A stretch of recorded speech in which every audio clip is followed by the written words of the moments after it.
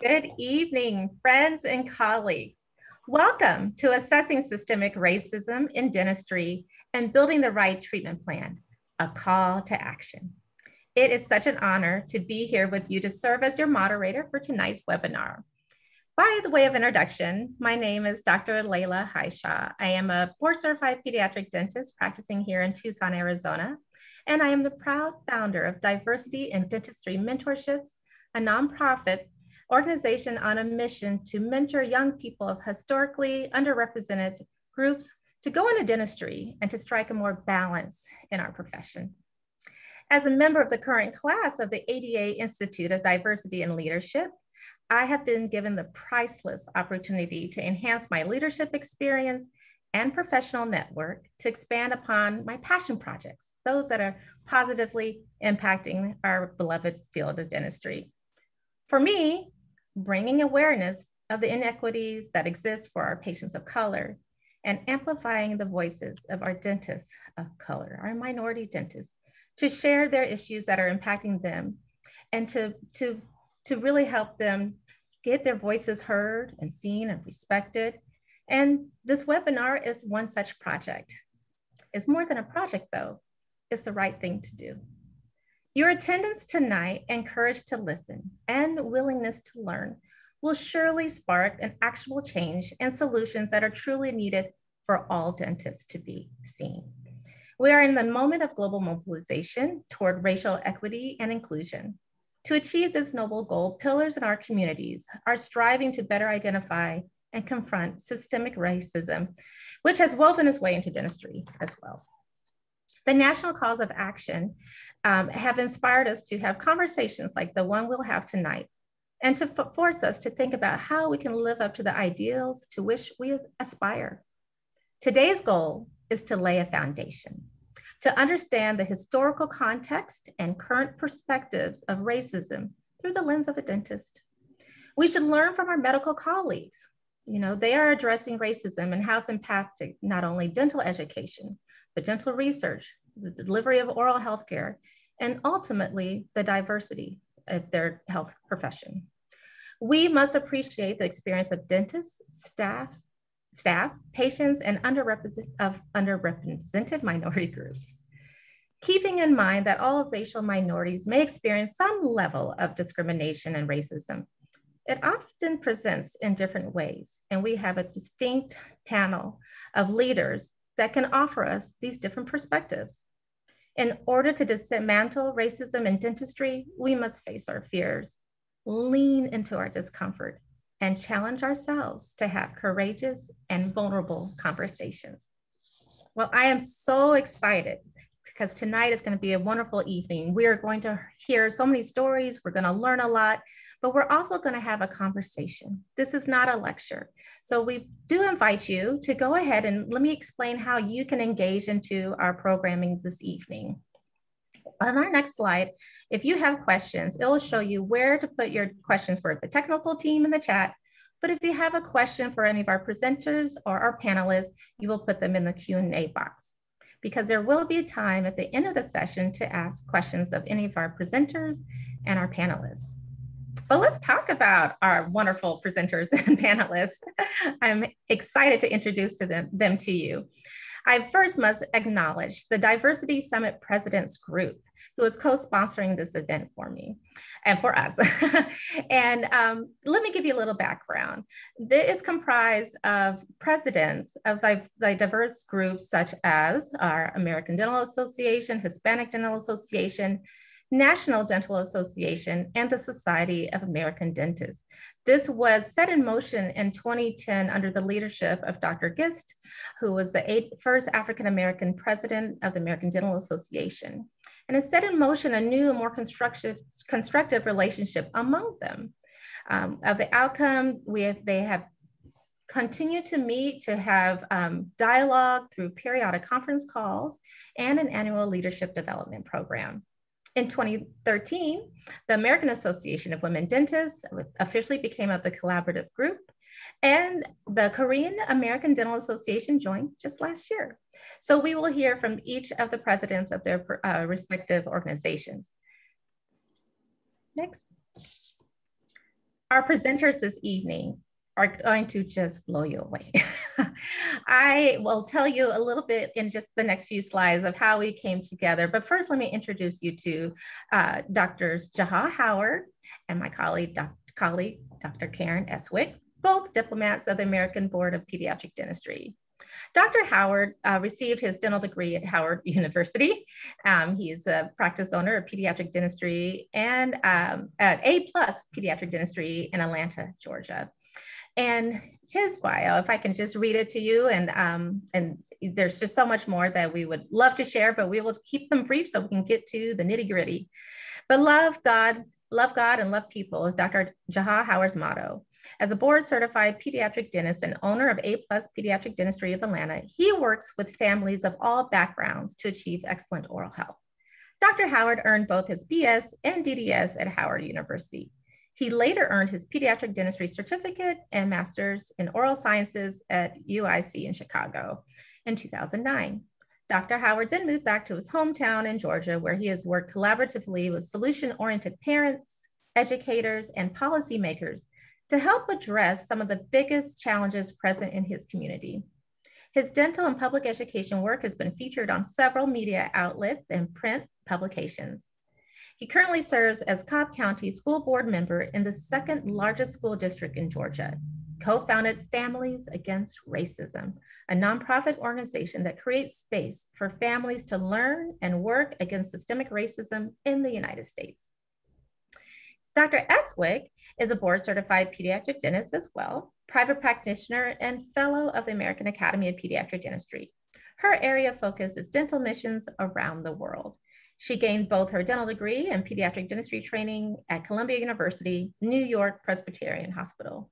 And I can attest that both of them have been so generous with their time and their knowledge and really are passionate about making a greater difference and impact on not only the, the specialty of pediatric dentistry, but in our whole profession.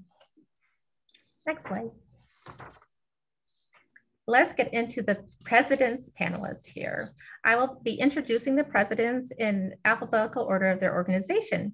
So I'm pleased to bring to you Dr. Daphne Ferguson Young. She's a president of the American Association of Women Dentists, and she is a professor in the Division of Surgical Sciences at Meharry Medical College Nashville, Tennessee, where she has been a faculty member for 15 years. Currently, she is the director of the GPR program and participates on several college committees and served in numerous leadership capacities. Prior to her academic appointment, Dr. Ferguson Young maintained a private practice in Murfreesboro, Tennessee, and practiced as a staff dentist at Matthew Walker Community Health Center. She received her bachelor's degree at NC A&T State University and her doc dental doctorate degree and master's of public health degrees at Meharry Medical College. Dr. Ferguson Young completed the ADEA Leadership Institute as a scholarship fellow and holds a fellowship in the American College of Dentists. Next, Dr. Cesar Sabates, President-elect of the American Dental Association. He previously served as a 17th District Trustee for the ADA Board of Trustees from 2016 to 2020, and as a delegate at the ADA House of Delegates from 2000 to 2016. He is also past president of the Florida Dental Association, South Florida District Dental Association as well. Dr. Sabates received his dental degree from my alma mater, UMKC School of Dentistry in Kansas City, Missouri. He is a member of the Academy of General Dentistry, Hispanic Dental Association, American College of Dentists, International College of Dentists, and the Pierre Fauchard Academy. And I bring you the president of the Hispanic Dental Association, Dr. Rosa Chaviano Moran. She is uh, she has graduated from Rutgers School of Dental Medicine and is Associate Dean for Admissions and serves as faculty, recruiter, advocate, and mentor, encouraging and supporting prospective and current students to Rutgers. She is the principal investigator for the ADEA Gies Foundation grant and co-PI and dental director of the Robert Wood Johnson Foundation Summer Health Professions Educational Program and all RSDM educational pipeline programs promoting dentistry and achievement for all students.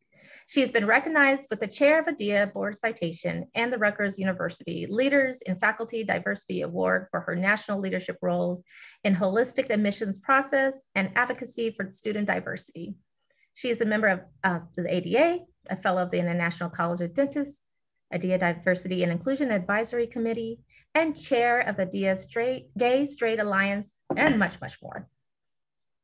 Going to our next slide, I'll introduce you to Dr. David H. Kim, the president of the Korean American Dental Association. He obtained his dental degree from Columbia University School of Dental and Oral Surgery with an area of concentration in oral maxillofacial surgery. Then he obtained his MD from Medical College of Pennsylvania, Hahnemann University School of Medicine in Philadelphia. Dr. Kim spent two years as general surgery resident and completed his oral and maxillofacial surgery residency at Drexel University College of Medicine and furthered his training in facial surgery and medical aesthetics from Florida's Aesthetic, Aesthetic Skin Institute. Currently, Dr. Kim is an attending surgeon at Long Beach Memorial Medical Center and Miller Children's Hospital and is duly certified by the American Board of Oral and Maxillofacial Surgery and Board of Aesthetic Medicine. He practices a full scope of oral maxillofacial surgery and aesthetic medicine in Long Beach and in Los Angeles. Dr. Pamela Alston, the president of the National Dental Association. She is the dental director at the Eastmont Wellness Center in Oakland and has been providing dental services to the underserved and disadvantaged communities of Alameda County and beyond since 1983. Dr. Alston's experience includes more than 10 years of providing dental care at Santa Rita and North County jails, and more than 20 years at the Central Health Center in Oakland. Throughout her career, she has been a consistent advocate and provider of excellent care for vulnerable populations. She is also a spirited volunteer who participates in oral health education programs for high risk youth and in mentorship programs to inspire Oakland youth to pursue health careers. And last but not least, Dr. Felicia uh, Font, sorry, Fontenot is the president of the Society of American Indian Dentists. She is of the Mescalero Apache tribe and is the newly elected president of Society of American Indian Dentists. She previously, excuse me, she previously served for five years on the said board as a member at large and secretary. Dr. Fontenot recently returned home to her community at Mescalero Apache Reservation to serve as dental director of the Mescalero Service Unit and Indian Health Services facility. She first left uh, her home to attend college at Stanford University, earning her bachelor's degree in human biology, then her master's in health science at Johns Hopkins Bloomberg School of Public Health, where she learned the significance of oral health impacts on oral overall health.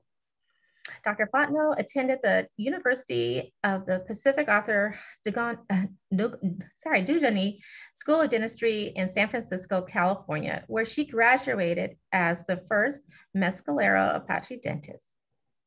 Dr. Fontenot's long-term vision includes applying her public health skills to reduce the high burden of oral health disease among Native populations and to increase access to restorative dental services.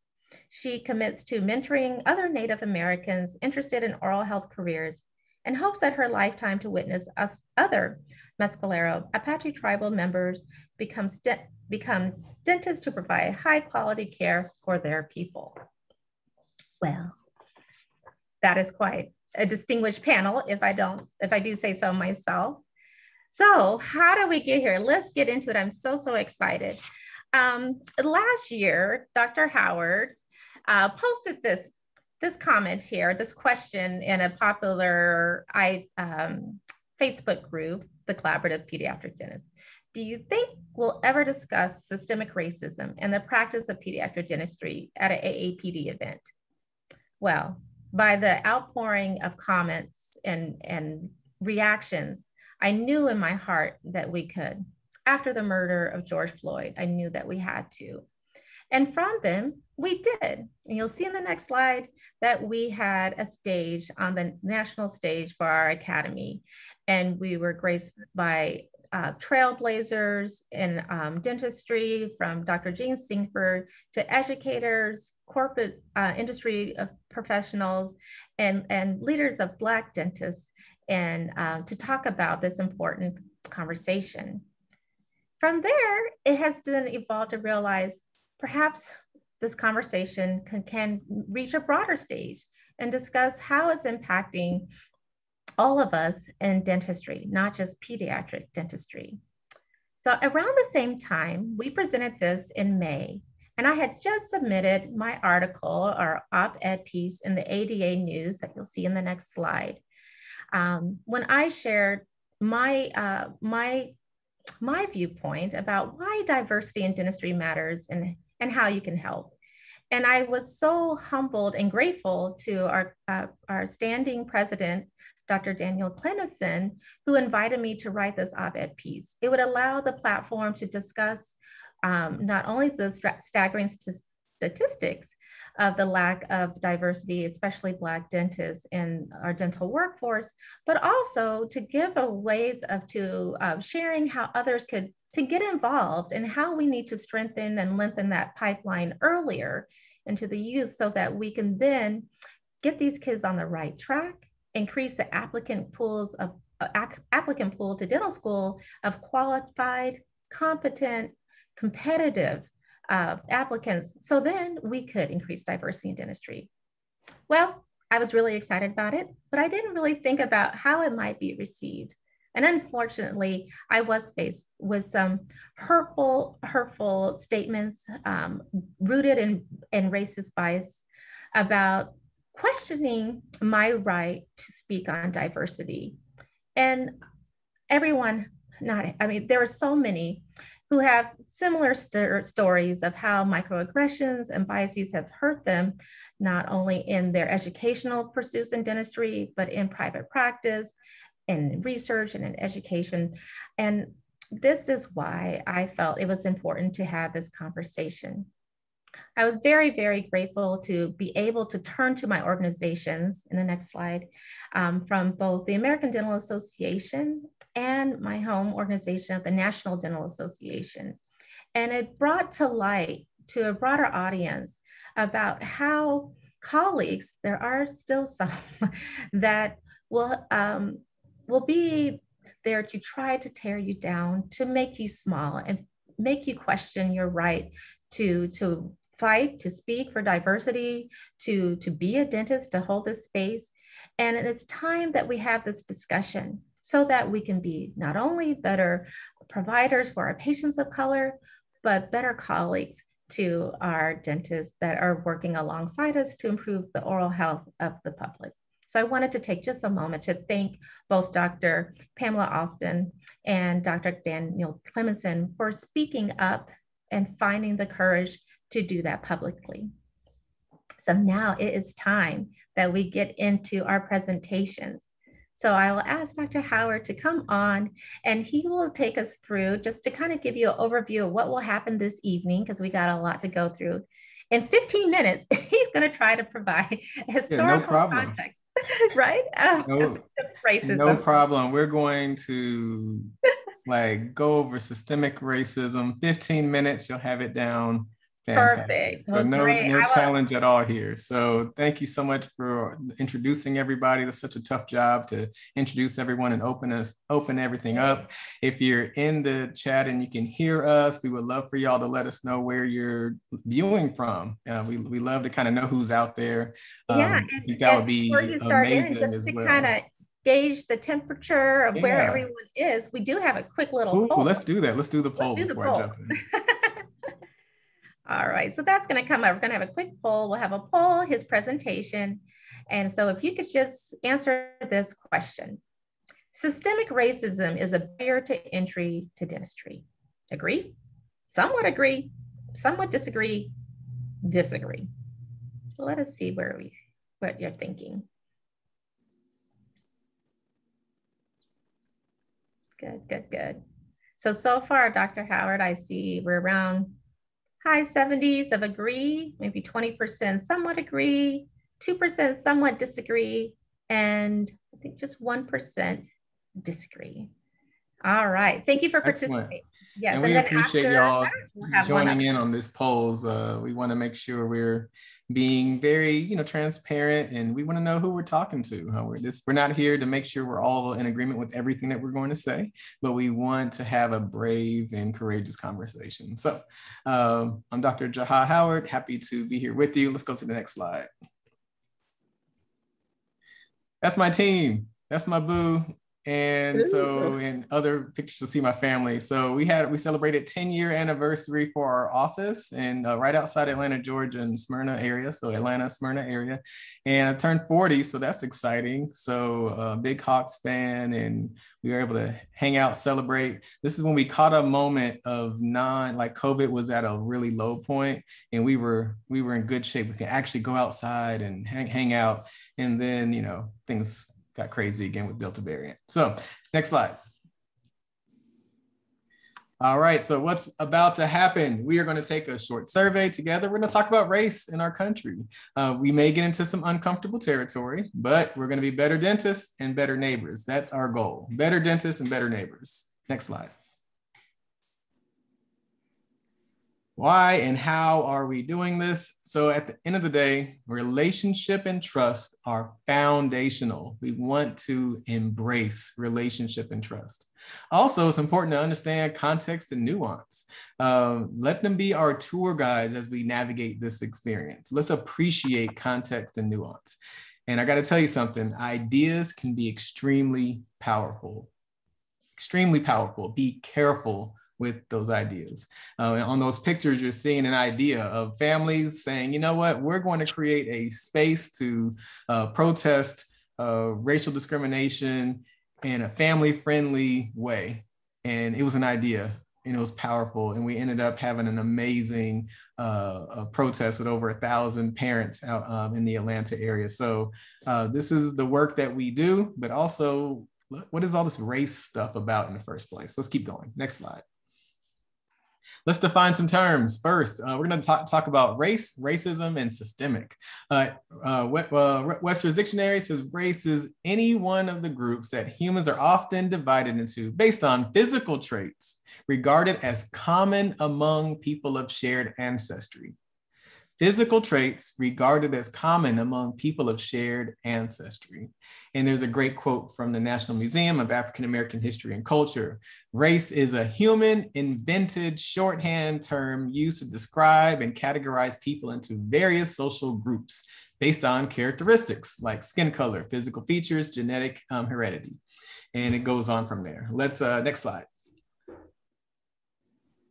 Racism a belief that race is fundamentally uh, is excuse me is a fundamental determinant of human trait and capacities and that racial differences produce an inherent superiority of a particular race.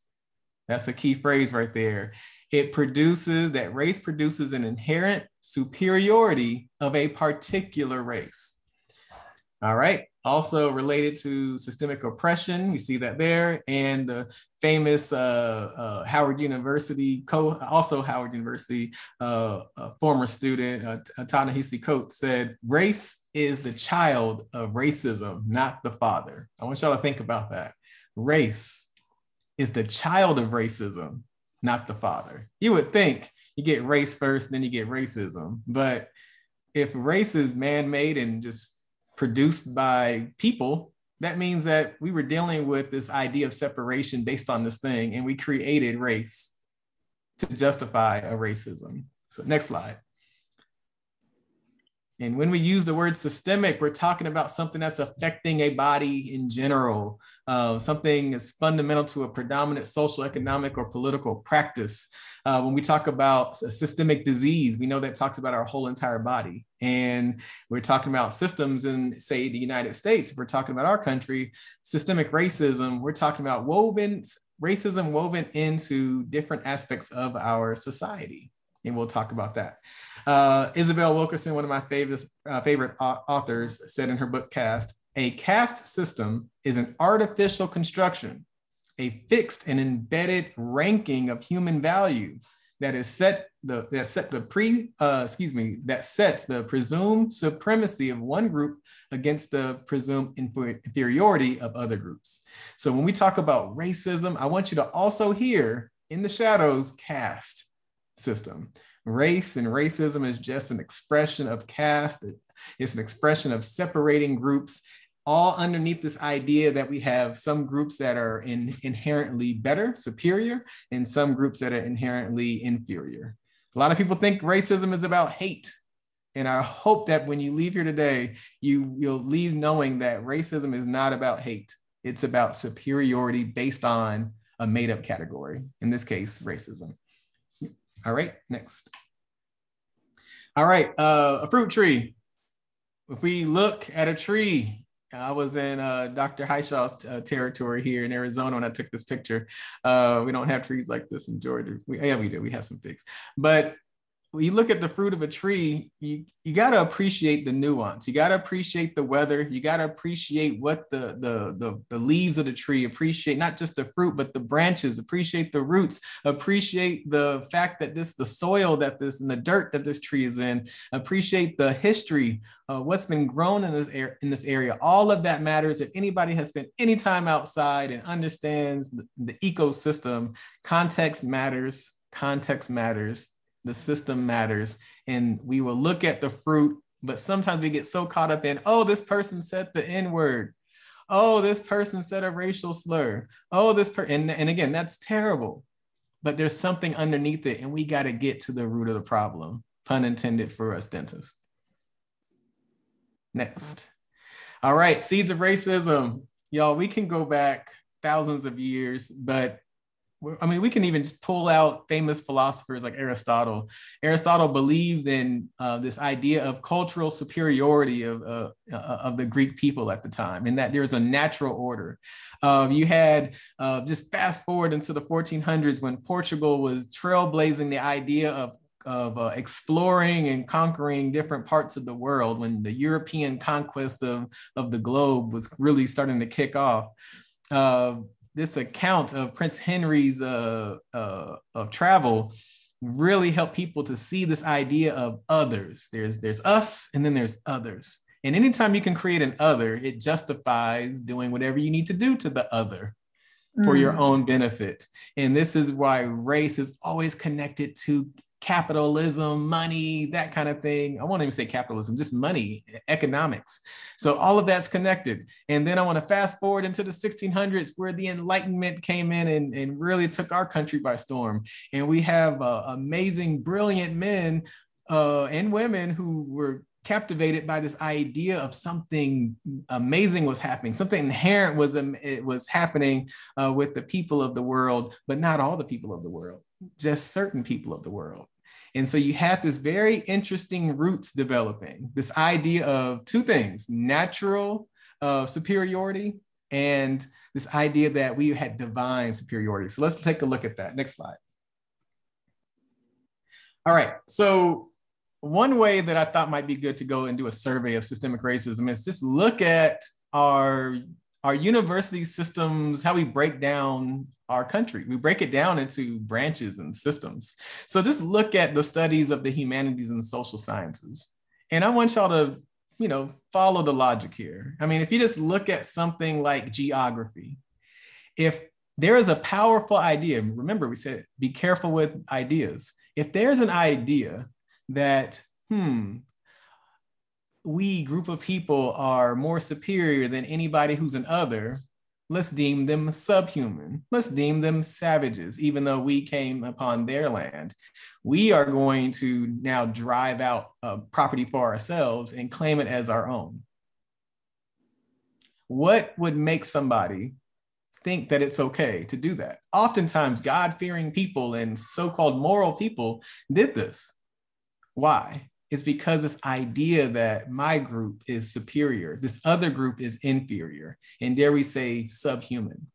This carried on in so many different ways. I mean, we talk we you hear a lot about the wall and built the wall I mean, this is a cartoon from the 1870s about building a wall around the united states of america. People were afraid of the chinese immigrants that were literally building a lot of the infrastructure on the in the west coast which is now the united states Interesting, right? But if you look at the list of topics there history, language, philosophy, religion, racism, the idea of a group as being superior than another group weaves its way into every aspect of it. And that legacy continues to have a generation after generation continue from here. Next slide.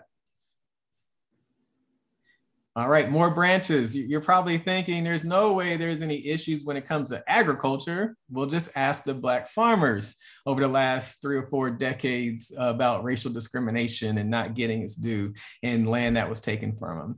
Uh, what about journalism? No, no, no, no. We, of course, we have racism in journalism because we're talking about stories being told from a point of view. But what happens when that point of view is always from the conqueror's point of view? What about those that were conquered? And when you have a society and a whole country that really took off in the world stage, how in the world did we get so powerful? Well, you need money. Well, how do you get money? Well, you have to exploit large groups of people. And so we know that slavery was instrumental in making sure that we had a huge amount of capital to fund businesses, not just in the South, but in the North, uh, fuel the military power that you even see today. It all started from that old money from exploiting large groups of enslaved human beings. All right. And next and you're probably thinking, good, good thing we have technology because we don't have to worry about systemic racism and technology. Well, tell me why we even at the bed of, even at the this idea of, of AI, artificial intelligence, when we're trying to teach a computer what's good and what's bad, guess what we do? We feed the computer information pre-existing information about good and bad. This is why we have some companies where when you have a, a, black gentleman and they're doing a facial recognition, they're now saying, would you also like to see more gorillas? That has happened. This is the kind of thing that has happened multiple times because racism and bias is embedded in every aspect of our lives, including to the latest technology. But here we are in the sciences but how come we only hear about the things that were developed from European from a European lens? What about all those from different Eastern uh, nations and ethnicities where developing all kind of incredible uh, medicines, but we don't hear that. It's not taught. It didn't make it to the canon of our books. Um, but you know what? We always have good old fashioned biology. Well, then you get genetics, then you get race science, then you have you, you genetics, good genes that takes off. And then now this gets into the idea of a superior race based on genetic makeup that was sweeping through our country and in Europe over the, in the uh, early 1900s. Uh, and best believe some of those same scholars and the, and the disciples of those same scholars are still around right now. We have a legacy a deep, deep, deep legacy of racism. It's almost like greed, makes its way into every single aspect of our lives. Unfortunately, so does uh, racism. Next slide. So uh, I like, I'll just pull one of these quotes. Uh, the last quote that uh, Isabel Wilkerson says is, Many people may rightly say, I had nothing to do with how this all started. I have nothing to do with the, the sins of the past. My ancestors never attacked indigenous people, never owned slaved and slaves. And yes, uh, no, uh, excuse me, not one of us was here when this house was built. Our immediate ancestors may have nothing, had nothing to do with it. But here we are, the current occupants of the property would stress cracks and bowed walls and fissures built into the foundation. We are heirs to whatever is right or wrong with it. We did not erect the uneven pillars of joist, but they are ours to deal with now. Next slide. For your consideration, context and nuance play a vital role when we're trying to build relationship and trust. We, it's okay to say that our founding fathers in the United States were brilliant men, but it's also okay to point out the fact that they had some horrible ideas as well as brilliant ideas. Some of them were talking about uh, uh, humanity and rights for everybody. At the same time, they were enslaved human beings that they were uh, forcing themselves to sleep with and having children by enslaved human beings. These are happening with our founding fathers. We have to be careful. We have to appreciate nuance. We can say, we can acknowledge the greatness of a thing, but also uh, critique the challenges and the problems, just like we do with business, just like we do with our favorite sports teams. Next one, the scope of our solutions must be as foundational. I'm sorry, back um, the scope of our solutions must be as uh, fundamental and far reaching as the scope of the problem. Y'all, I tried to at least paint a quick picture that our problem is deep and is widespread. So it would be foolish for the, us to think that the solutions come from a little checkbox here and a little here and a little there. The scope of our solutions have to be just as far reaching, just as fundamental, just as foundational as the problem. We need our time, talent, and treasures to really dig in and make this work. When passive and active collide, active usually wins. So there are many of you that may say, you know what? That's too much going on. I'm not going to get involved. That's a passive stance. It's going to take active anti racism to battle against racism that has already been going. That train has left the station and we have to derail it and stop it at its tracks. Next slide. Thank you. Thank you so much. I really appreciate y'all. And those are my kids uh, participating in uh, another one of our Families Against Racism uh, uh, uh events. And again, thank you. I hope I didn't take too much time, but I wanted to briefly go through and just make the make the point that we have to get to the root of the problem and the scope of our solutions. When we start talking about solutions, we have to appreciate the depth of the problem. We understand this with our patients. We have to do that with our social issues of the day. Thanks. Absolutely. And those are some of the cutest activists I've seen ever. Thank you so much, as always. Such a wealth of information. Um, and, and the way you deliver it, uh, it's something that I think everyone can hold on to and, and really think about it, just the nuance and the context. So we have a, another quick poll and we will get the results up um, this time. So let's go ahead and present this Exploring biases may be uncomfortable, but I am here to listen and learn to be a better colleague and provider for my patients of color. And here you can answer, absolutely, I have a lot to learn. Finally, this conversation is overdue. And I just disagree with the statement. Currently, I think we have about 140 plus on the call. And so we can see the final answer. That number may have changed, I don't know. All right, let's go ahead and in the poll. All right. So about half and half, absolutely. And and and well, finally, absolutely a lot to learn. And finally it's overdue. And no one disagreed. Wonderful. Thank you. Okay, up next, we're going to learn about the collar technique. What is that all about, Dr. Estwick? I'm going to turn it over to you to build the right treatment plan. Okay, Laila, thank you so much for such a wonderful introduction. And I also wanted to say thank you to Jaha for the lovely foundation that he set for us. Now, systemic racism, uh, next slide, please. Systemic racism is woven into the fabric of our society. Its impact can be felt in pediatric dentistry. And my very first slide, I have to give a shout out to my precious little yum yums from my practice. Without them, I couldn't be here today. So thank you very much.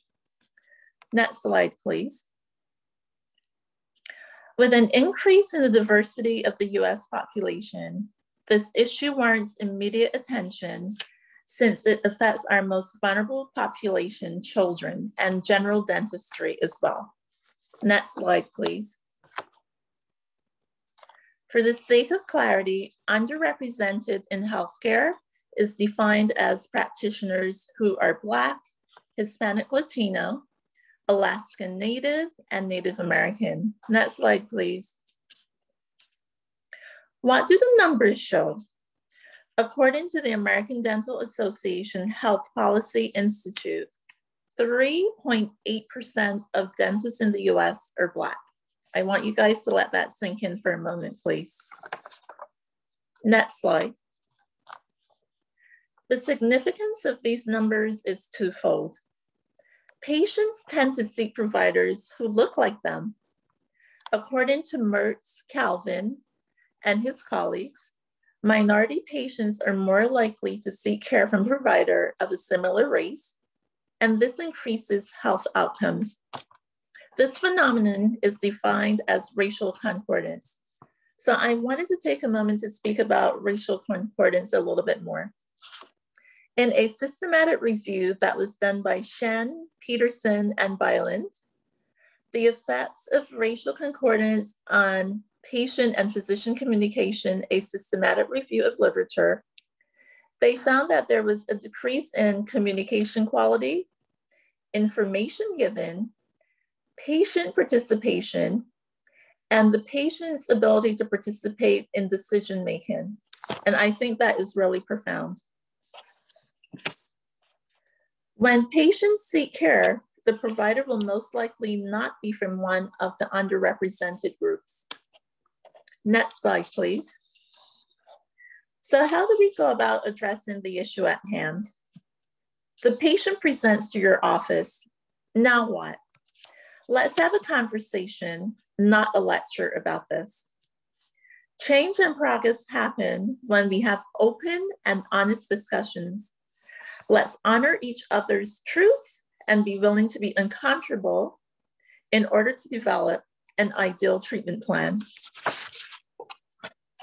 Next slide, please. Diagnosing and treatment planning. To diagnose and treat the issues, I will use the format taught by Dr. Shantanu Lal in dental school. Thank you, Dr. Lal. So we need to have a diagnosis, history, treatment, prescriptions, behavior, and what we plan to do at the next visit. In this case, what are we gonna do with all of the information that we have gathered from this webinar and lots of research?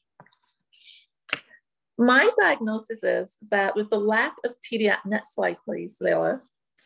With the lack of pediatric dentists from underrepresented groups, patients and children are most likely to be treated by practitioners who do not share their background. As a result, there is a need for cultural competence, trust, and relationship building between practitioners and patients from minority groups. Next slide. Next slide, please.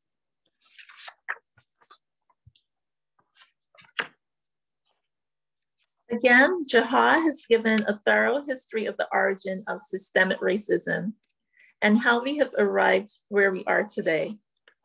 Next slide, please. So in my own pediatric dental practice, I see patients from various backgrounds. And regardless of the background of my patient, I treat them all with love and understanding because at the end of the day, we are all humans and we need to be valued. I happen to come up with a simple principle that I use when I'm treating my patients, and I call it the collar principle. What is the collar principle? I had a purple moment. Purple is my favorite color. And realized that my interaction with people from diverse backgrounds involves what I call the collar principle. This principle can be used to become more culturally competent and aware. Please note that the expectation is not that you will be knowledgeable about every possible ethnicity that presents to your office. The principle, the principle will, however, set you on the path to become more competent. Oh, they can't see me, Laila? So collar.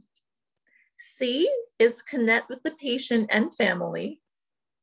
O is being open to learning, even when it challenges your belief system. L, listen to understand, not to respond and pass judgment. The second L, let go of preconceived notions and bias. A is for authenticity, And R is to respect differences. How do you connect with the patients when you don't have similar backgrounds? So I have a couple of what I call K-isms. K-ism number one, we all have something in common. We just have to figure out what that is. So my first case study is what I call the Orgain protein shake story. So I had a new family in the practice and it was a very busy day. So I happened to have a protein shake, an Orgain protein shake. And one of the moms came to my workstation and she saw the protein shake and she looked at me and she looked at the protein shake and she said, Dr. Karan, whose shake is that? And I said, mine. And she was like, oh, this is like one of my favorite shakes. And something as simple as having a protein shake that we like in common helped us to develop a conversation and open the doors to having a, a good communication relationship. K is the number two. Without connection, there is no trust. Without trust, there is no relationship building. Without relationship and trust, there isn't case acceptance. I think sometimes as dentists, we get so focused on the perfect class two prep and our lovely e.max crowns that you general dentists do. And we forget that there's an actual person connected to that dentition. Bear in mind that generally speaking, members of some underrepresented groups are distrustful of the healthcare system based on the experiences that they have had in the past. So it is our job to connect with them and make them feel safe in our environments. Next slide, please. Open to learning. Growth occurs when we are open to learning about others. Sometimes this can lead to a minor major disruption in our belief systems. People, generally speaking, love to see you make an effort to learn about them. If we don't learn, we become stagnant. I'll give you an example. In my own practice, I make a point of learning a little song in every language that is represented in my office. If it's Spanish, I sing La Cucaracha. If they are of the Jewish faith, um, Hevenu Shalom Aleichem. If they're French, it's Frère Jacques. Russian, I'm still working on. So if anyone knows a cute little Russian song, let me know. But by learning about people, it makes them more comfortable and they see that we're actually making an effort to learn about them. Listening is a very important skill. It is mind blowing how much we can learn from our patients when we actively listen and observe nonverbal cues. Active listening can help us unearth clues that can help us with treatment planning and diagnosing. The goal is to listen to understand, not to respond and get our two cents in. The top plate story. So when I was at Columbia, I think it was second year, I had to do an externship in Brooklyn. And this uncle came to Downstate Hospital and he was telling one of the attendants that something was wrong with his top plate. And the attendant was a little bit confused. And here I was, a little second year from Columbia, who dared to intervene because I understood what the uncle was talking about. In a lot of cultures from the Caribbean, a top plate refers to a denture. So by listening to the uncle, I was able to help and there was a successful outcome. Sometimes all we have to do is listen to understand where our patients are coming from. The second case study is my multifamily apartment story. When I was in residency at Columbia, there was a young mommy who came in and the child had severe early childhood caries. And while we were busy having a conversation about nutritional counseling and the whole um, process of how cavities are formed, the mom told me a very interesting story. You see, there were multiple families living in that apartment, And the dad had to get up really early in the morning to go to work. And it was very important to her that the child did not disrupt the father. And she did the best that she could by giving the kid juice in the bottle. And this contributed to the child having early childhood caries. So by listening, I was able to make some recommendations in terms of how she could help this child. Sometimes all we have to do is listen because our parent, our parents and patients want to be heard. And this is how we can start on the road to building trust and relationships with our patients from diverse backgrounds. Let's go ahead and let go of preconceived notions and biases.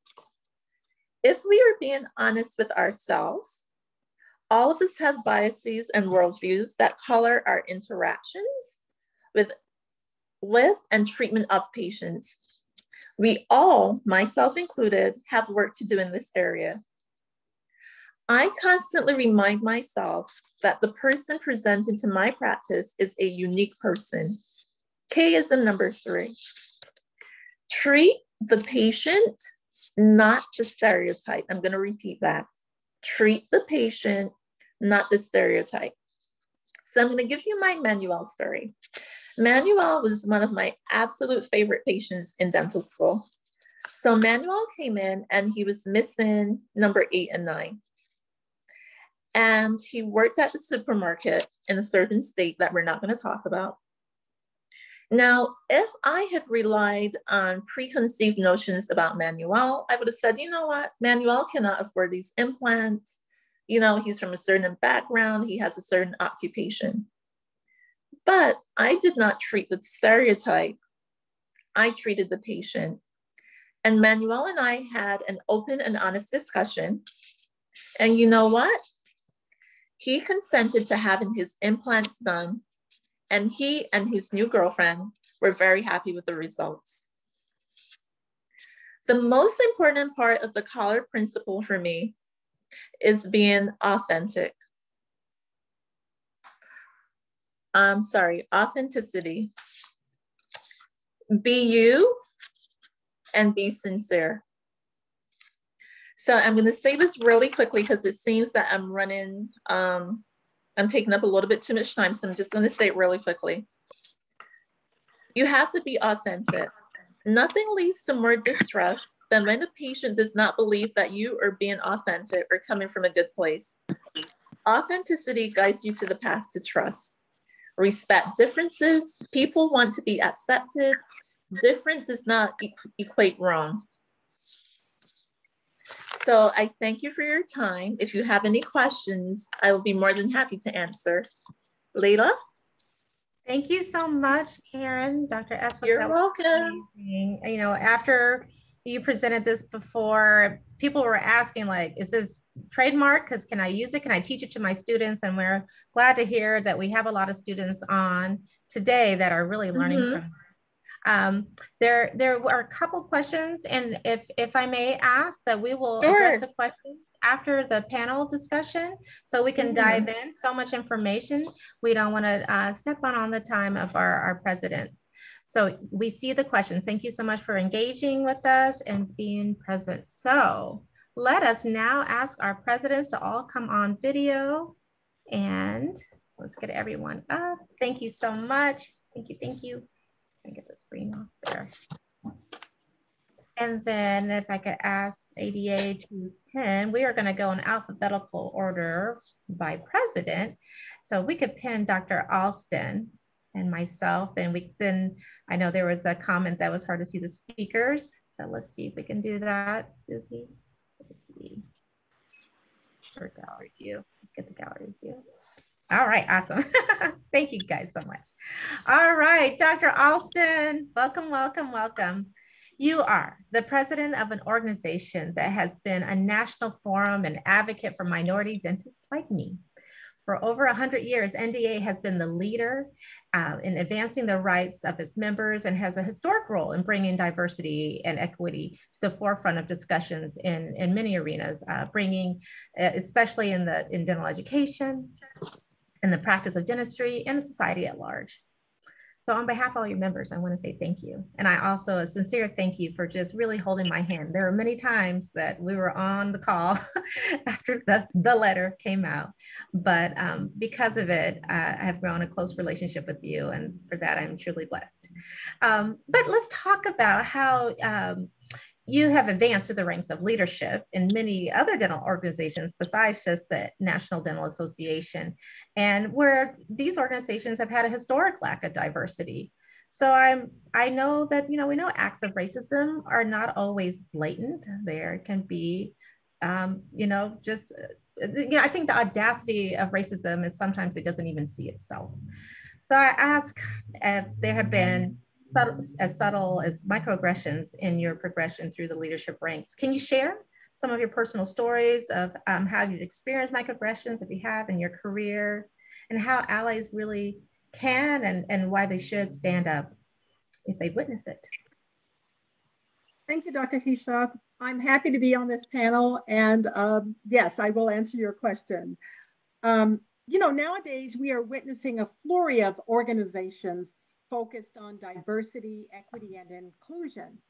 And in one of the organizations on which uh, board I serve, I was given an opportunity to chair the board. The opportunity came after 13 years of serving on the board. My terms expired several times, but the board kept me on. I was the first Black person on the board and for the for most of my term, the only Black person who ever served in this 39 year old um, organization's history. And I was excited to chair the board. I had lots of plans. I anticipated a good working relationship with the secretary treasurer, whom I will call Mike. He joined the board after me, and we had always had, um, you know, good exchanges. Um, but it changed after he was installed as secretary treasurer and I was installed as chairperson. Shortly after our installation, I called Mike with the intention to discuss the agenda for what would be my first board meeting as chair. He was rude to me. He told me he was not going to work with me. I was deflated. I fully expected that Mike and I would work together, you know, as a team, uh, like the other previous secretary treasurers worked with, you know, their chairpersons. So I asked him why. He said because he didn't want to work with me. I didn't know what to do at first. Uh, there is no executive director. The chairperson and the secretary treasurer have to work closely together. I needed the support from someone who would make Mike work with me. So I approached the vice chairman, whom I will call Al. Al had experience serving as secretary treasurer with several chairpersons. Al was someone easy to talk to, but most importantly, he was white, like Mike, and they were friends. And I knew Al would stick up for me. Al, in case you guessed it, is not his real name. Al is short for ally. And Mike is not his real name. It is short for microaggressor. Mm. Microaggressions are comments or actions that subtly and often unconsciously or unintentionally express a prejudiced attitude toward a member of a group traditionally excluded from participating or uninvolved. Al was very sympathetic and he told me he would speak to Mike about his responsibility, uh, making sure that Mike knew that not working with me was not an option. So Al contacted me several days later and said a meeting was um, in order. So Mike and I could speak face to face. Al invited Mike and me to lunch with him, and Al acted as a mediator. Mike expressed that he did not think that I was qualified to be chairperson. Al told Mike that I would not have been elected chairperson had I not been qualified. Mm-hmm. At the end of the meeting, Mike agreed to give me a try. Give me a try? Huh. Let me tell you, Mike never gave me a try. He tried to gaslight me. Gaslighting is a colloquialism that is loosely defined as uh, making someone question their reality. You know, I went into the chairmanship believing that I was capable, but Mike said I didn't know what I was doing. And he made decisions that I should have made as chair. At board meetings, he mumbled disparaging remarks about me that other board members heard. They heard the microaggressions, but they didn't recognize them as such because I did not react. Mm-hmm. He threw a paper at me one time instead of handing the paper to me. And, you know, I didn't want to be pegged as an angry Black woman or creating drama. So I did what Michelle Obama said. She said, when they go low, you go high. It didn't work with Mike. The microaggressions continued my whole term. It was a two year term. I mm. completed my term as chairperson three years ago. So this was relatively recently. Yeah. Well, fast forward to today. Mike is currently chairman. I am still on the board and I attend all the board meetings. When I was board chairperson, our section won the newsletter award, and this was a national award. Today, there is no section newsletter. Mike will not ask me to be newsletter editor, and I wouldn't agree to be newsletter editor even if he did ask me, because Mike doesn't want to work with me. And you, editor has to work with everybody. The truth of the matter is that unfettered microaggressions take a toll not only on the victims, but also on organizations. They deprive organizations of human capital and inclusivity. And I do want to acknowledge that Mike is an outlier in this particular organization.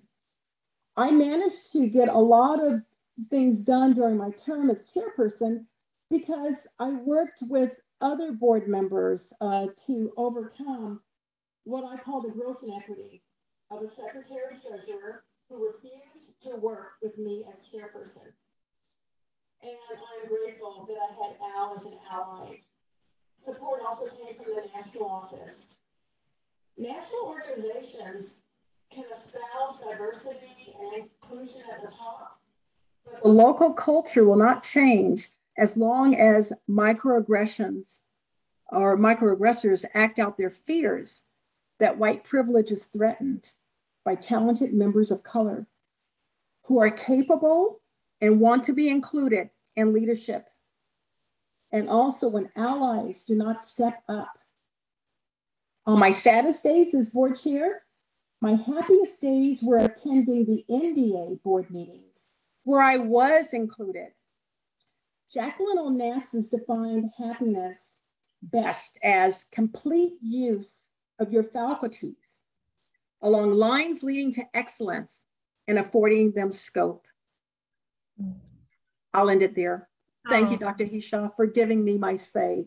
Oh, no, thank you for sharing. And, and, you know, a lot of these stories that we'll hear from everyone is very courageous to share that.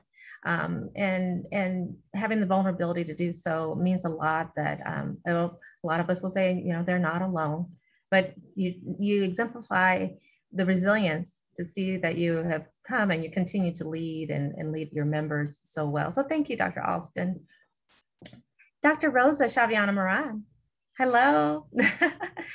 President of the Hispanic Dental Association, go ahead and unmute yourself and, and we'll go into your question. And by the way, attendees, at the at after we go through the one question which e with each president, we'll have an opportunity to um, have the Q&A and actually, and they will have a, another final remark. So, as Associate Dean uh, for Admissions at Rutgers School of uh, Dental, Dental Medicine, you are immersed in every step of the admissions process and aware of the racial mix in the applicant pool. So although we have seen an increase in the Hispanic uh, first-time enrollees in the past decade, which is great, the percentage of Hispanic and other underrepresented minority dental student enrollments remains significantly lower than the percentage of, of each group in the United States population. In what ways, if any, do you feel racism serves as a barrier to entry? At RSDM is taking a holistic approach to the admission process um, can you explain what that is for some of our other dental institutions here? And, and how is it helping to recruit and retain dental students from diverse backgrounds? Well, Thank you. Um, good evening, everyone. Um, and, and I just want to thank you, Dr. Hishaw and ADA uh, for inviting me uh, to be part of this uh, panel discussion with my amazing colleagues. Um, but yes, racism can definitely have a profound influence in the dental school admissions processes, and therefore on the final race and ethnic makeup of the selected incoming class, which will obviously affect the total student body and the institutional environment. We must be aware that racism can be concealed in the institutional makeup. Racial discrimination in the admissions process can occur through subtle forms of differential treatment that are not necessarily obvious or in a public display. Applicants to dental school can experience racism in a variety of ways. In its most overt form, this racial discrimination can occur because admissions committee members, they stereotype the candidates and or the committee members have their own prejudice and biases. Mm-hmm. Stereotyping in the admissions process assumes that if the applicant is from a specific ethnicity, race, underrepresented or marginalized group, they do not have the same academic foundation or ability to navigate through the dental curriculum and therefore will not be successful in dental school. So this racial profiling during the screening and admissions process is of course based in false, incomplete information or mm-hmm. false generalizations. These assumptions that this applicant won't or can make it are the gatekeepers or the barriers that prevent these qualified applicants to enter dental schools. Mm-hmm. So I have met many admissions committee members that even though they're well meaning and not overtly biased, can nevertheless stereotype and make assumptions about an applicant. They focus so much on the candidate's ability to be successful in the academic setting that they lose sight of the end goal, which is producing qualified healthcare professionals that in, that will in turn increase, increase a diverse oral health workforce. So let us focus on the potential the applicant displays for success as a professional. Mm-hmm. Let us move away from those metrics and cognitive factors and mm-hmm. towards the non-cognitive attributes and the skills oral health professionals really need to have. Let us focus on grit. Let us focus on passion that these candidates bring to our tables. That is what constitute holistic admissions. The Association of American Medical College in their publication, Roadmap to Excellence, back in 2013, provided the definition for holistic admissions as a balanced, individualistic review of qualities that is evidence based and aligned with the mission of the school. Mm-hmm. So, what does that mean? A true holistic admissions review of a candidate will place a greater emphasis on the non cognitive factors, such as the personal statement, dental shadowing, community outreach experiences, leadership, and personal attributes it will place less emphasis on the standardized test scores like the DATs and the grade point averages. Mm-hmm. Holistic review is a flexible, highly individualized process. We have to look through everything in the applicant's file and identify why is this candidate an asset not only to our institutions, but to our dental profession.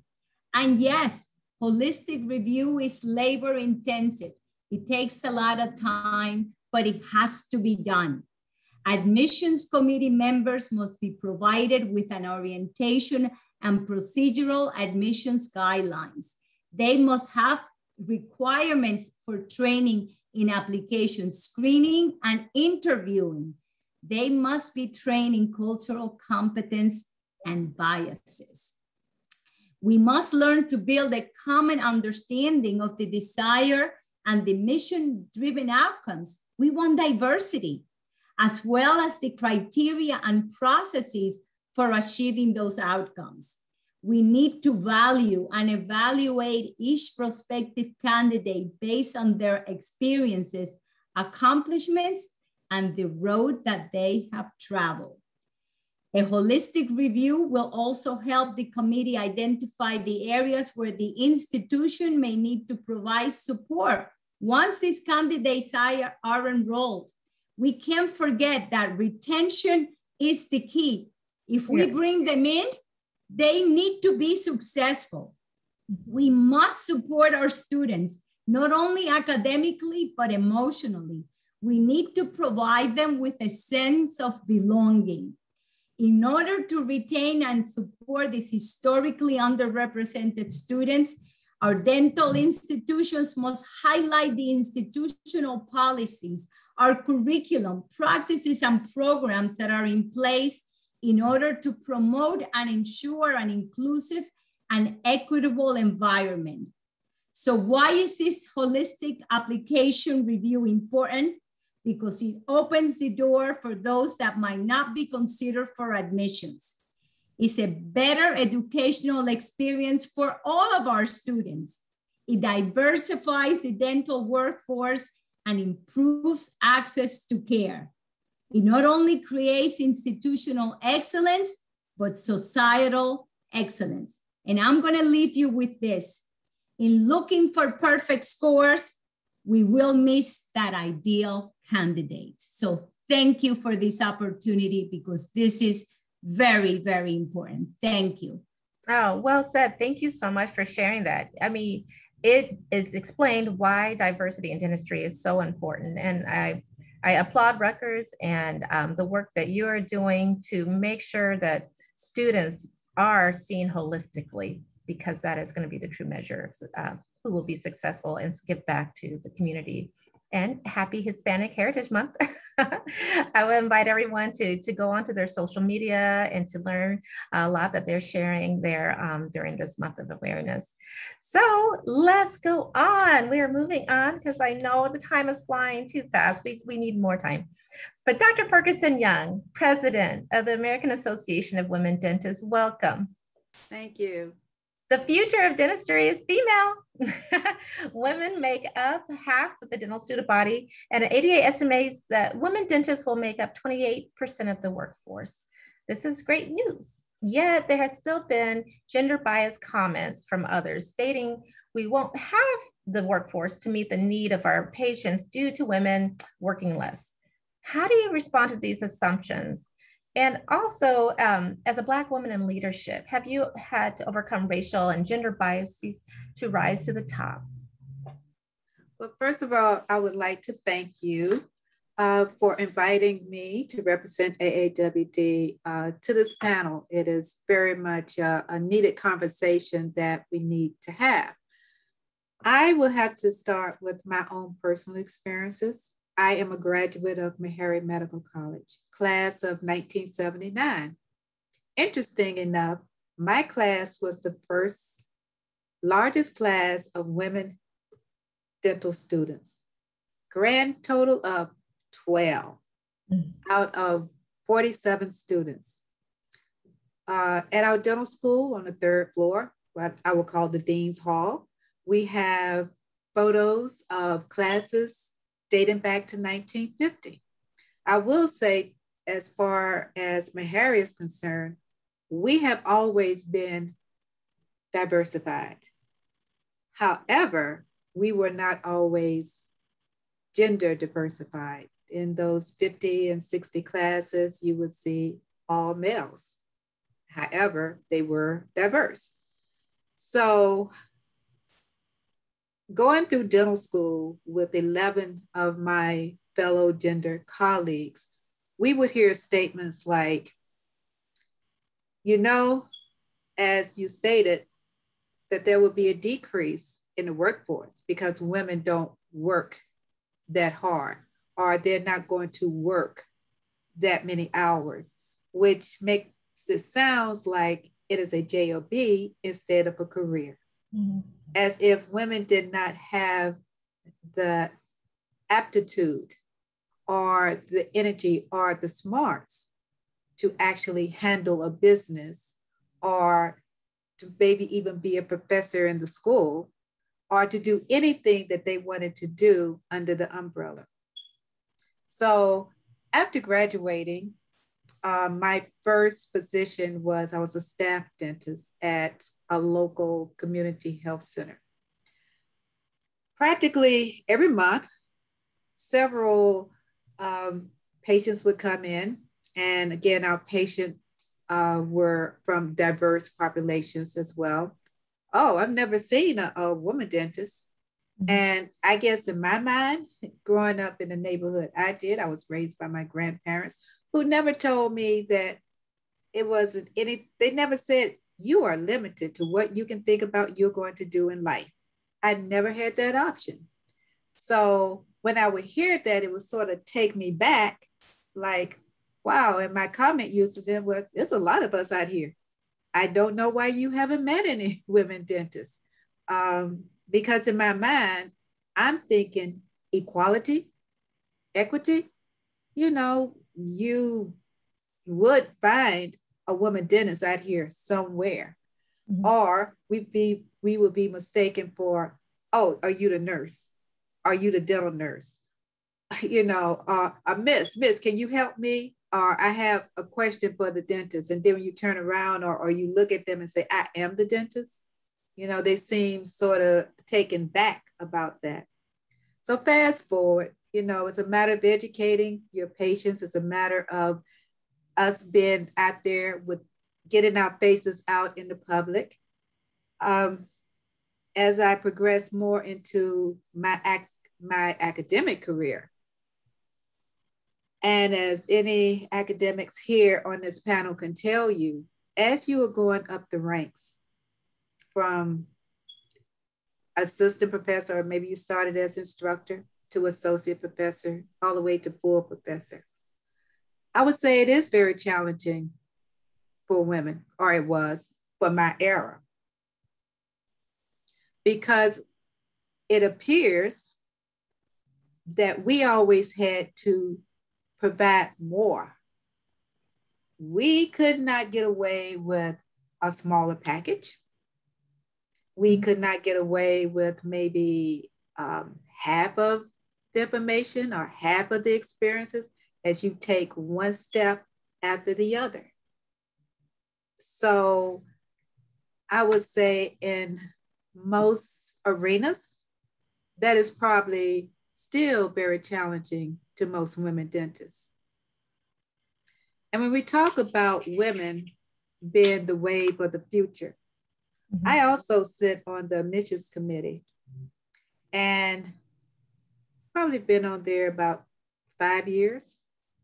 So in that time frame, I have seen that there has been an increase, more of an increase in women applying to dental school than men. So the challenge is if would probably be finding more men to actually become dentists or you know sometimes we say so what are, are they turning to other professions now do they feel that this is going to turn into an all women's uh, career mm-hmm. but dentistry is very fascinating and with all of its quirks and, and shortcomings and all of that. Um, but it's very unfortunate that someone like me, who was a child during the civil rights movement, is still seeing the same things mm-hmm. going on in 2021. Someone who experienced racism as a child, um, coming from North Carolina, uh, when you would go shopping or, or have people follow you because of your race, or people not coming to help you when they are assuming you don't have the money, you can't do this, you can't do that. Uh, put continue to put a mark on you. But I had to go back to racism, and I definitely enjoyed uh, the commentaries that were given by the pediatric dentist before we started. I would have to go back to how people are raised, their environment. So, just as we know about oral stories and all about cultures, mm-hmm. I think that there is an oral story that is going on that continues to go on because I don't think children are born as racist, mm-hmm. but I think that their environment leads them to become judgmental of people based on what their parents or their grandparents or their community think. Yeah. Um, and it's really a sad. And I wish I could say, oh, I see a bright light. I see the end of the tunnel. I see a light at the end of the tunnel. I think that this is going to get better. Right. I'm not sure I would see it in my lifetime. Mm-hmm. And that is very um, condemning, I think, for the communities of color who really need dentists. Um, as we all know, dentists who look like them. They feel more comfortable, they feel more trust, they feel safe if this continues. Um, I would also like to put in uh, a statement about state boards. Let's talk about those supposedly uh, blind state boards in uh-huh. which you put your photo, but it's a blind state board. Let's talk about the percentage of people of color who actually passed on the first time. If that state board was taken at a school where if that was where the, the state board was taken, maybe their students passed. Well, what about outside people who had the same training, who had to take the same national boards? Yeah. What about us being really graded on what we do and not by where we are from? So, uh, in closing, I would say there is much work to be done. Right. And it would take the commitment of all of us to stand strong, mm-hmm. stand and push this conversation further. Um, I do see that maybe, hopefully, there is a bright future, mm-hmm. but um, I would say that my dental career has been very rewarding. It also has been very challenging. True. Yeah. But I uh, just applaud everyone who is here, who has stood up, did not let any brick walls that you ran into uh, discourage you. Um, so on that note, I will end my my commentary, my oh, comments, my two cents. well, thank you for sharing your commentary. And you're right, the conversation is going to need to continue. Of course, um, systemic racism and institutional racism wasn't born overnight, nor will we fix it in one webinar, but hopefully will uh, spark more, more discussions. Um, in interest of time, I'm going to move on to uh, Dr. Felicia Fono. I'm so sorry. I practiced so hard. Fontenot. Yeah. I got it now. Um, from the Society of American Indian Dentists is working diligently uh, towards promoting improving the oral health of American Indian and Alaska Native community. But with such a disproportionate number of AIN AN dentists, if I may abbreviate, there is simply not enough providers to treat them, requiring other dentists to provide care. What is the most common misconception or conceptions that people have about your culture or ethnic identity that you would like to address? Can you share incidents where it has affected you professionally? Thank you, everyone. Thanks so much for having me on the panel. Um, so to those of you uh, who are attending, you may see me, and I, I may be the first Native American dentist that you've ever seen, and I'm getting used to that. There are not that many of us, and um, you probably haven't seen very many representations of Native Americans in just contemporary culture. Like we're not on commercials, we're not in movies, and um, you know, that can be problematic uh, when trying to connect to your patients. But I want to kind of turn that question around. You know, the question assumes that there will never be enough Native American dentists to treat our own people. And I think, I believe we're the best qualified to treat our people. So we need to focus on increasing our numbers. Um, so just to give you a little snapshot of who we are, um, there are 574 federally recognized tribes in the United States and 63 state recognized tribes. So we're a diverse people. And if you do meet other Native Americans, they may not look like me or sound like me. Um, I, am Mescalero Apache from New Mexico, but um, there's a lot of variations. Um, so, so we are not all the same.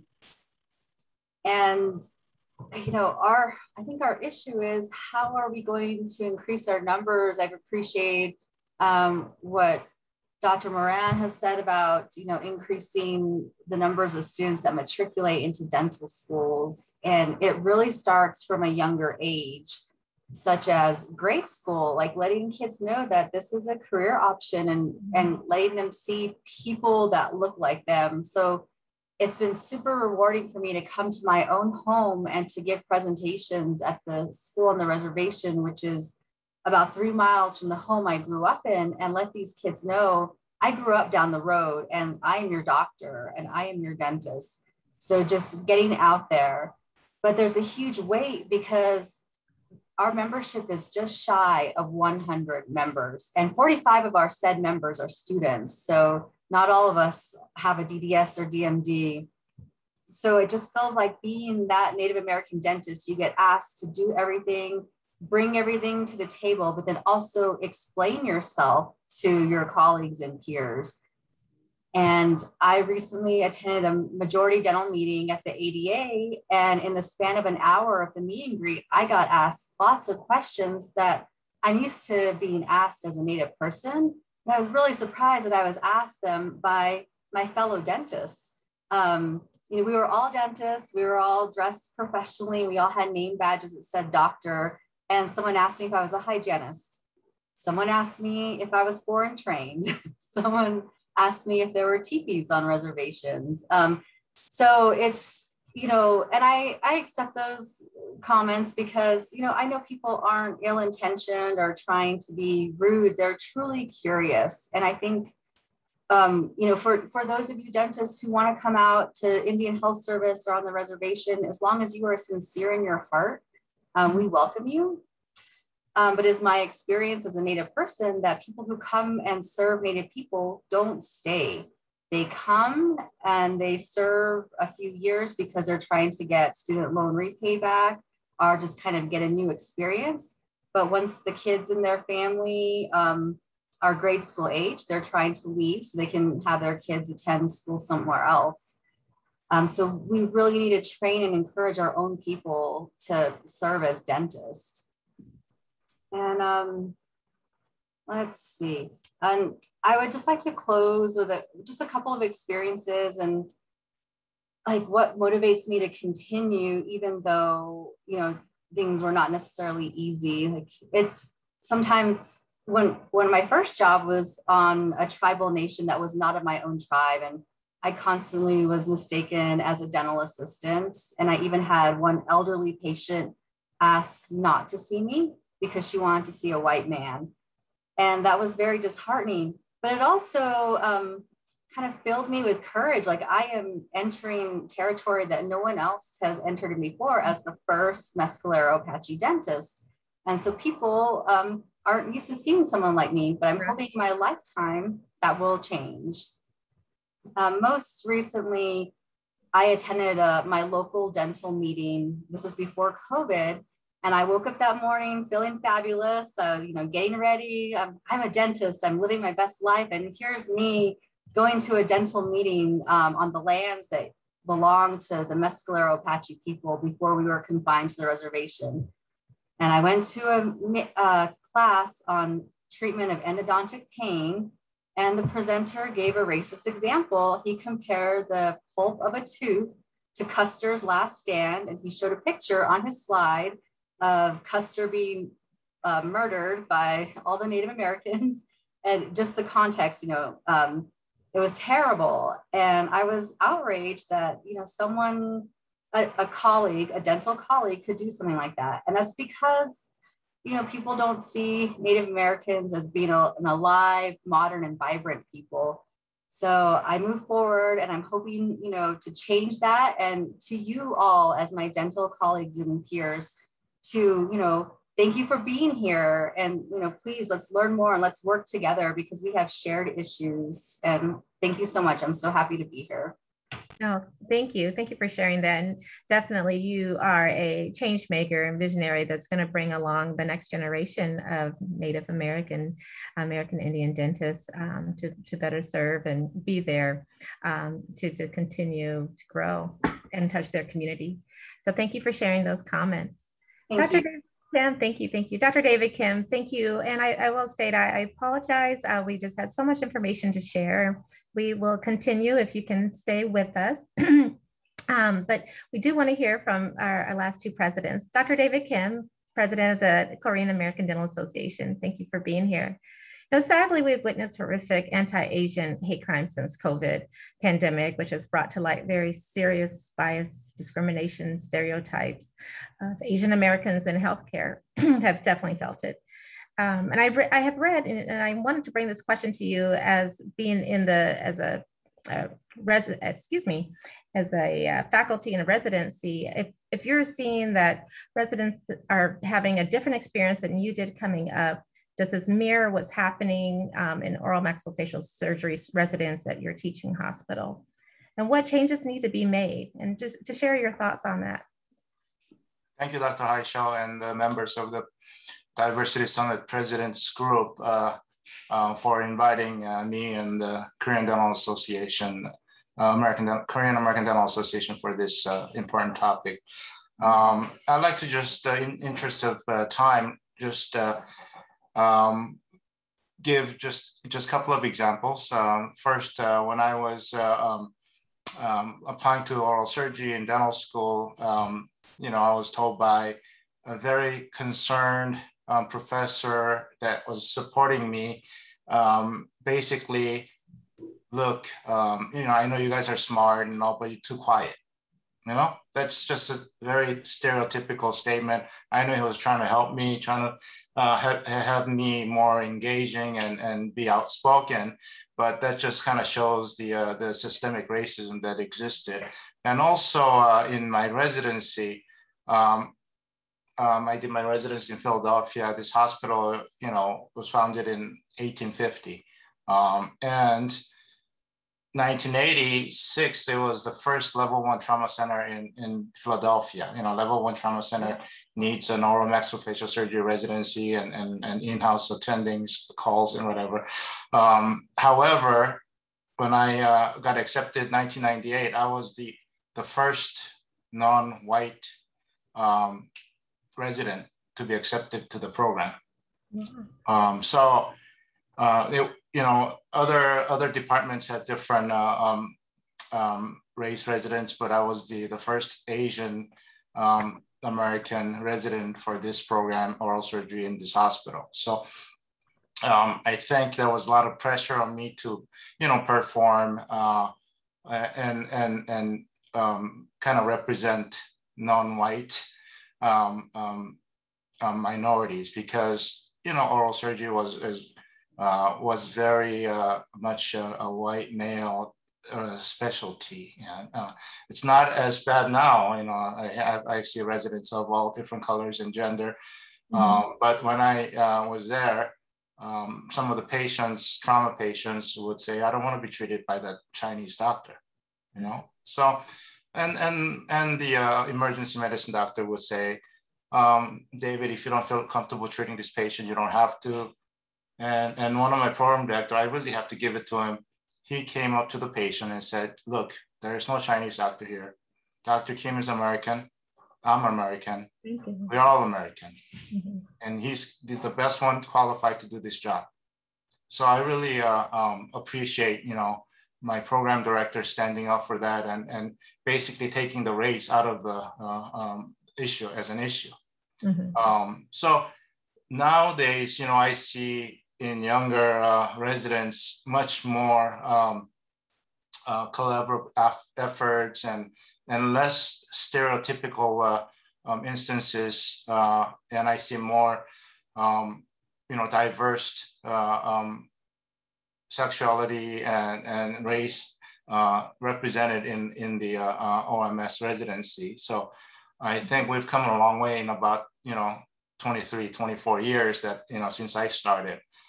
Um, but I think this all stems from, you know, including the uh, the the, um, the shootings that happened in August in the Atlanta area, mm-hmm. of of this uh, um, Asians uh, stereotypes uh, having that we're quiet, you know, that we're more submissive, and I think this stems from 1960s when you know we're kind of termed model minorities. You know, this is is is an effort by basically a uh, um, you know white um, community to um, create a racial uh, you know minority that's kind of model citizens that look at these groups they're minority they're you know but they work hard and they're quiet they don't complain they're quiet and and and you know that kind of extends the racism you know it, it just makes it worse so it just downplays the, the, the racism and, and inequality of American society. And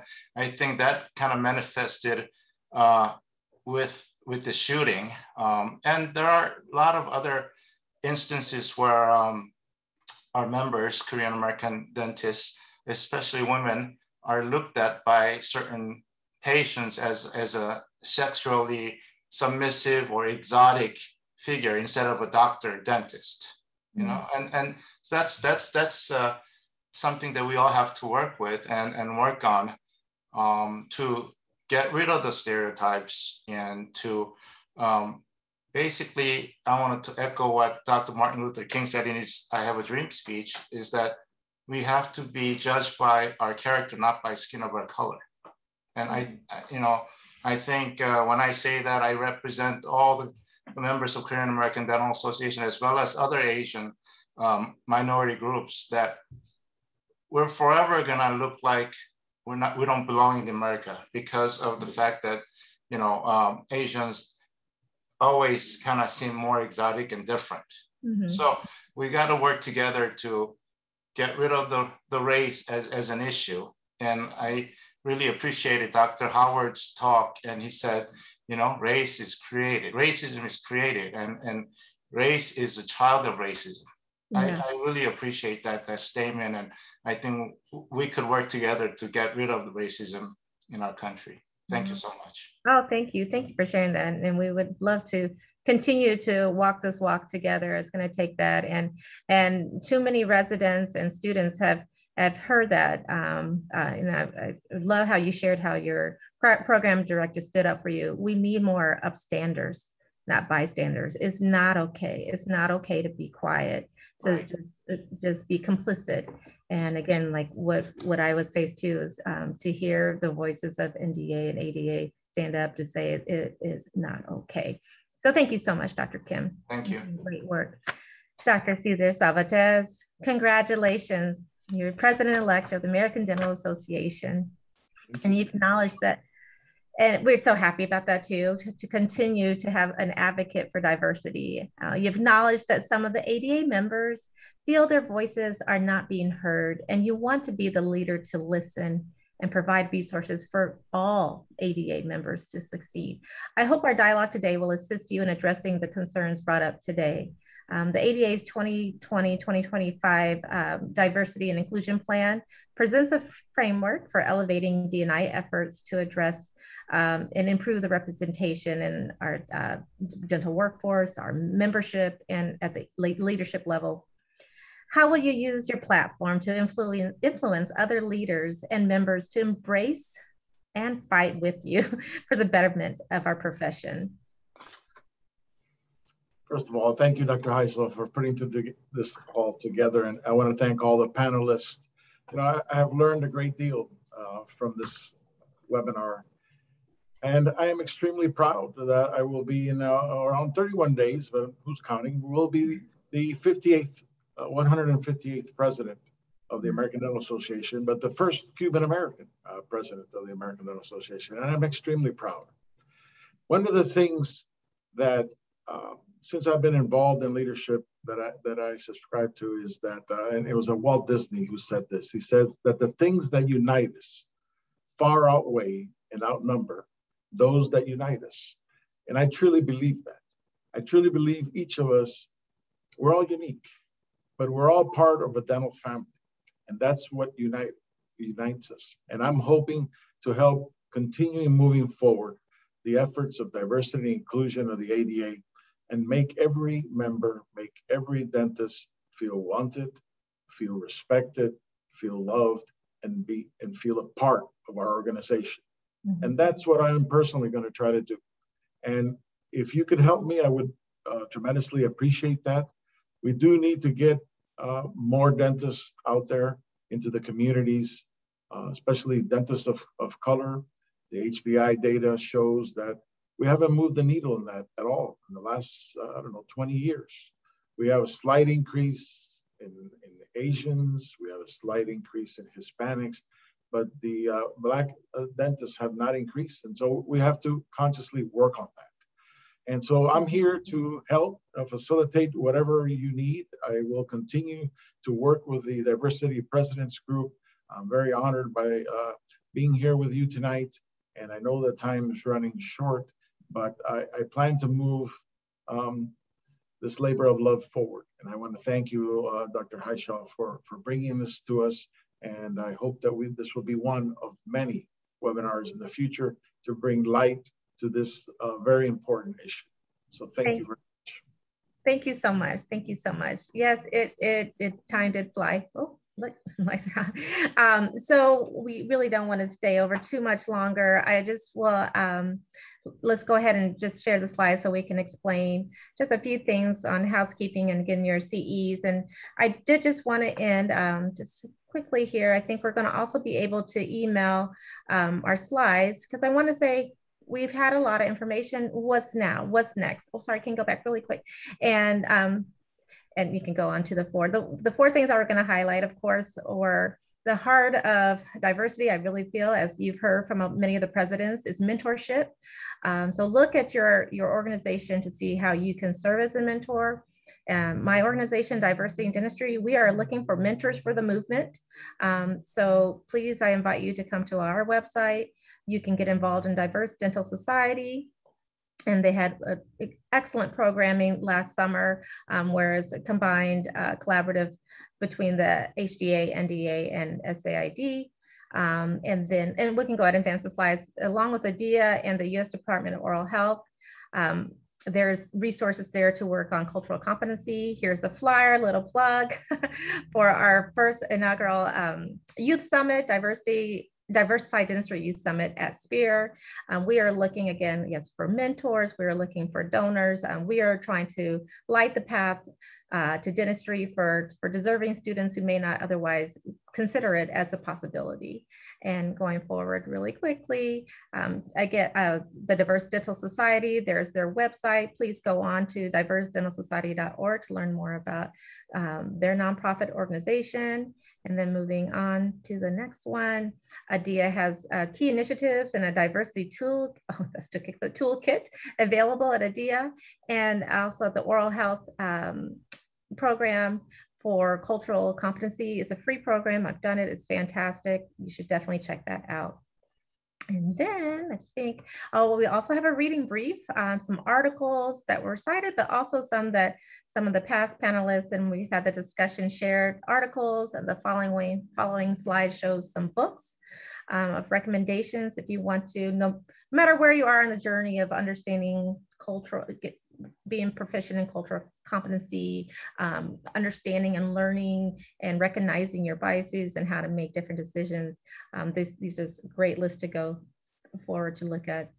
And so I think that is it. I want to thank you so much. Uh, we have heard a lot, um, a lot that we can think of, these concepts, these nuances, the context, so that when we're faced with certain discussions or uh, decisions, we can look back to these discussions that we had today. And as Maya Angelou said, when we know better, we do better. And we know better now, and we can continue to work towards that and hold each other accountable um, because we're only going to better ourselves, our community, and the patients we serve. So I ask you today, what will you do differently? How will you be an upstander for your colleague? How will you address your patients of color so that they feel included and um, and and really feel like you have compassion and empathy for them?